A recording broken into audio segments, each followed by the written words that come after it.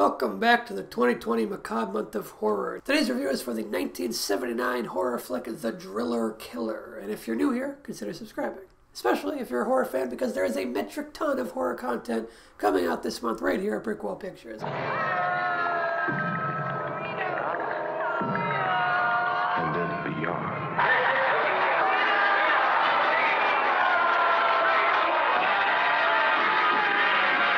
The Driller Killer is a somewhat notorious film, the subject of much controversy and even outright banned for a period of time.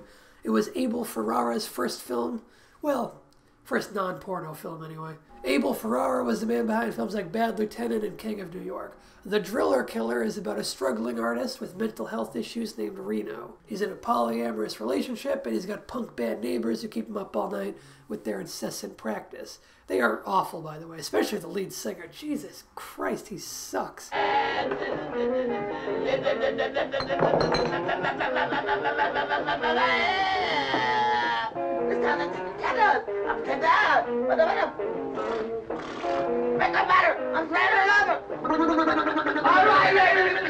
In addition to painting, Reno's other hobby is going around at night and drilling holes into homeless men.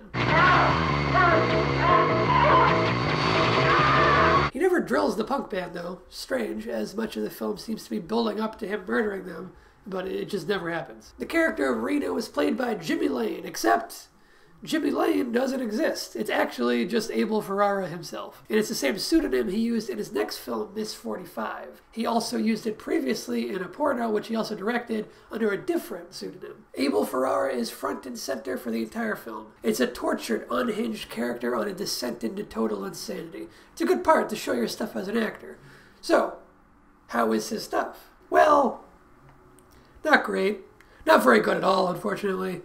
He's not awful, though, I'll give him that. He, he does manage to come off better than the entirety of the supporting cast. Honestly, it was a pretty bold move of Ferrara to exclusively cast people who can barely fucking speak, let alone act. So how much is Biggs gonna give us for the buffalo?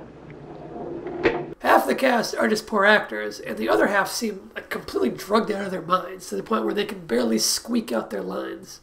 That's the kind of idea I think we should have. But now, what what is it? What the colors? You must know. You must feel a color. You must feel me.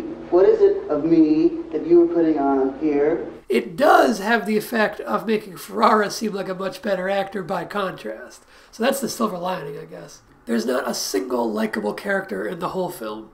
Our protagonist is the fucked up killer, and there's no one trying to stop him, really. There's no one trying to escape that has been developed as a real character that we can root for, except, I suppose, for one in the very closing minutes, but even that doesn't really play out with any suspense. There's no like cat and mouse chase or anything. The best character in the film is actually New York City itself. There's a ton of great raw guerrilla style footage of pre gentrified New York. If that kind of thing is interesting to you, you'll probably get a kick out of the Driller Killer for that, if nothing else. Abel Ferrara has been pretty open about the film's origins as starting off as a Texas Chainsaw Massacre knockoff. It makes sense, you know, you just pick a different power tool to kill people with. Surprised we never got the bandsaw bloodbath or the belt sander slaughter. We did get the nail gun massacre though, so.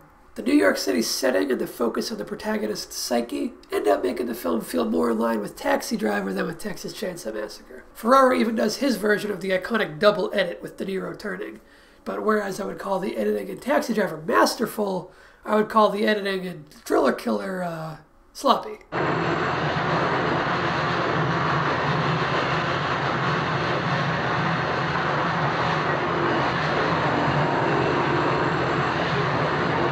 One question you might be asking, I know I was, does the Driller Killer live up to its title? And what a title it is, by the way. I'd say it does in a way. There are plenty of drilling killings. It's not one of those films that completely overpromises with the title. If you're just here for the kills and the gore, the Driller Killer will do the trick. There's plenty of killings, a decent amount of variety to them, and they're sufficiently bloody, even if it does seem a little too easy for the protagonist. No one tries to fight back at all. A couple people make pitiful attempts to flee, but otherwise everyone just screams and they put their hands up. And I would imagine being killed by a drill would be a pretty slow process, actually. I mean, look at how long it takes him to get through a door in the beginning.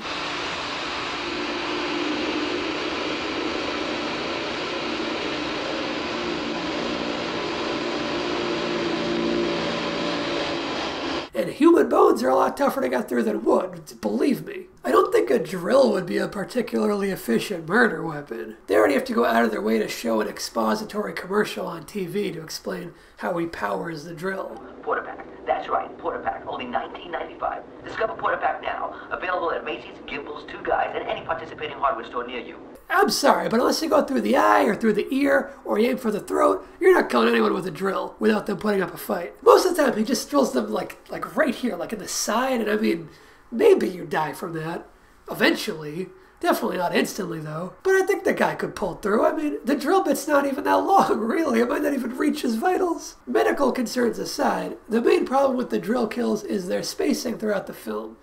The vast majority of the kills come right in a big cluster together. Reno goes on a crazy spree and kills a bunch of homeless men over the course of a single night. There are a few other kills, but they're mostly just in this one sequence. It makes the beginning of the film pretty dull, and it also lessens the impact of each drill kill on this crazy spree, since we're seeing them one right after another. Even outside of the killings, the driller killer is sleazy and grungy and gross. One could even call it nasty. And when it came out on VHS, I wonder what people called this nasty video. If you don't know what I'm hinting at, back in 1984, the UK passed the Video Recordings Act, which was meant to tighten up on censorship and protect the public from the obscene occurrences in exploitation films. It was some pearl clutching bullshit. But as a result, certain films became banned on tape, and video stores weren't allowed to sell or rent them. These infamous films were dubbed video nasties. Some of the most well-known video nasties include the likes of Cannibal Holocaust, The Last House on the Left, I Spit on Your Grave, and Zombie. And the Driller Killer found itself on that list of prosecuted films. I hate this kind of censorship. I think it's harmful to cinema as a whole. Yeah, sure, Driller Killer is super sleazy, and no, it's not very good, but does it deserve to be banned? Absolutely not. The video nasty era is certainly an interesting piece of cinema history, and it's worth exploring, but it's also worth condemning. Do I recommend The Driller Killer? If what I've described sounds interesting to you, then yes. To most people, I would say definitely not. Even as a fan of sleazy horror, this one still felt more on the negative side than on the positive side for me. But there is a narrow slice of people who will really groove this sleazy Abel Ferrara joint. And if you think you might fall into that slice, then definitely give it a watch. The film is technically in the public domain now after a bunch of legal disputes, so tracking down a copy should be very easy. Be sure to subscribe to the channel if you aren't already for more horror goodness all throughout October right here at Brickwall Pictures.